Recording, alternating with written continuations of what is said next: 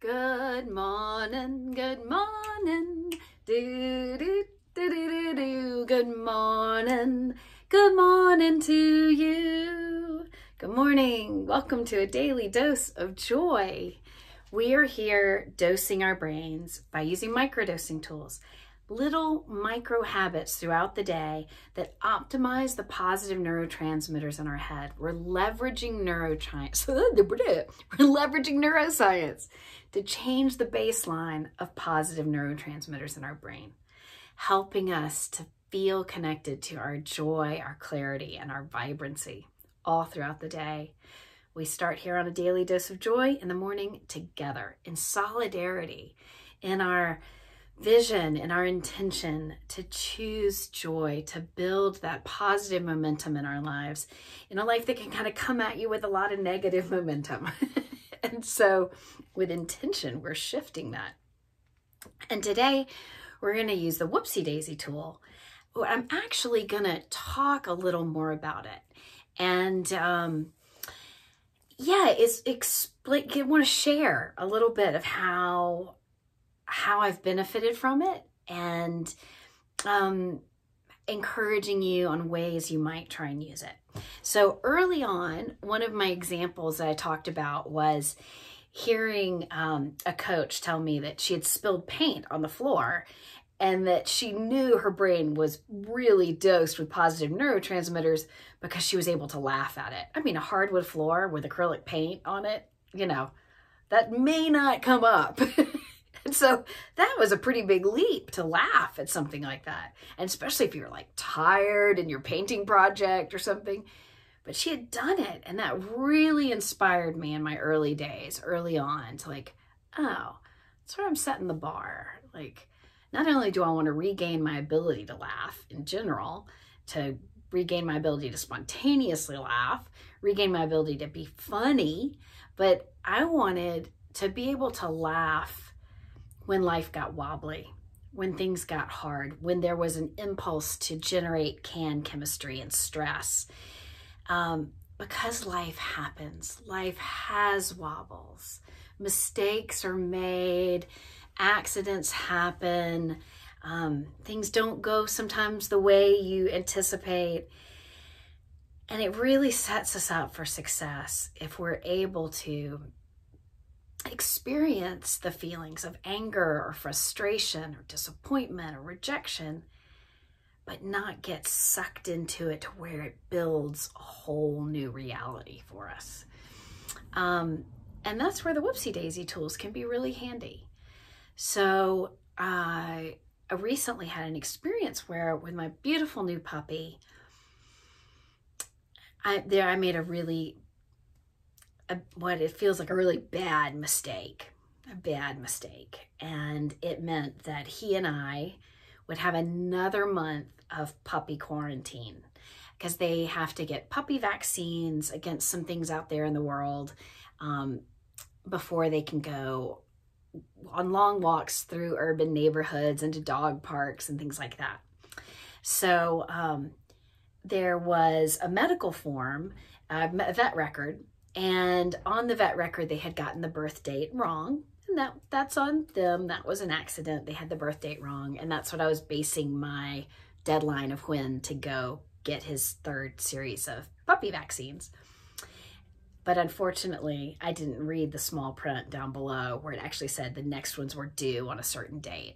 And so I'm based it on the birth date, not on that, missed the whole thing, got us a whole month off. So it means another month of the quarantining.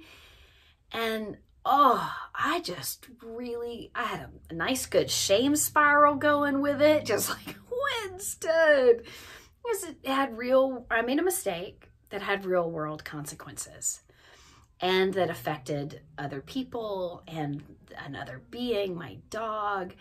And um, and I was really feeling it. I felt and, and frustrated and sad that I couldn't go out into the world with my new puppy.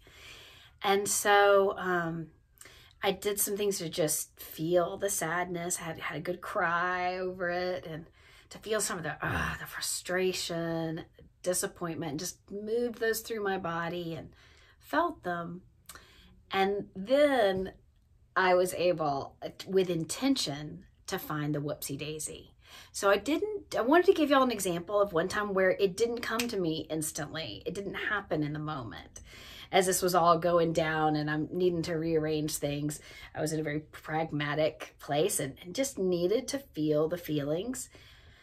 But I also used the whoopsie daisy tool as a way to kind of, after I'd felt the feelings, to move on, to release it, and to get it back into perspective in my life. And so I started laughing at myself saying, oh my God, I'm going to have to get some Mr. Magoo glasses anytime I read a form or, you know, like I got to get better at reading the small print. I need some thick bottle, Coke bottle glasses so I'd never miss the small print and just made it funny for myself. And it took the shame I felt away, the embarrassment of making a mistake and lightened it. It lightened it. Oh my God, it lightened my load and um, and then I've since been able to, without shame, because shame builds with secrecy and isolation, and um, and you know I didn't want to tell people I'd made this mistake. It was a you know, affecting my poopy. Uh, but now I'm telling people. And part of the reason that it takes it out of the shame closet and out of the darkness is my own being able to hold it more lightly. So my retroactively looking at it and finding some humorous ways of seeing what went down um, that allowed me to hold it lightly and to share it and to bring it out into the light. Ah, oh, what a relief. And I've done the same thing with other friends who call me with a, you know, oh gosh, this is tough. And so we'll feel the feelings, I'll hear their story, and then I'll be there with them as they try and find the humor in it and we're able to laugh. And this is something that naturally happens culturally and in the world.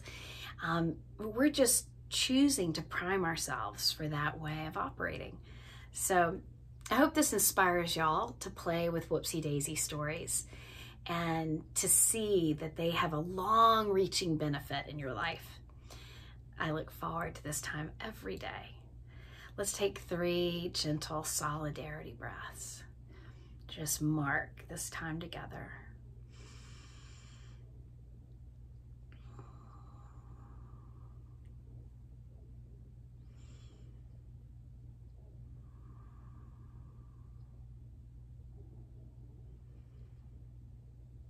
Mm, mm, mm, oh boy, do I love this journey with y'all.